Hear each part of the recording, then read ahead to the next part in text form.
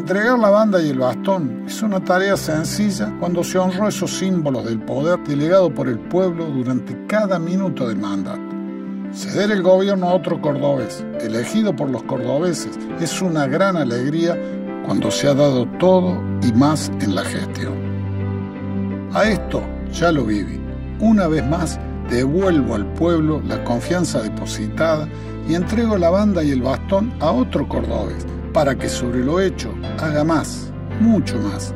Ahí están las obras que pude hacer junto a un gran equipo. Cordobeses pueden tocarlas, sentirlas, disfrutarlas, aprovecharlas.